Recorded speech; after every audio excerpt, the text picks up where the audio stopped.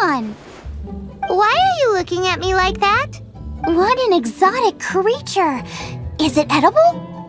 No, for the last time, Paimon is not emergency food! You seem like good friends.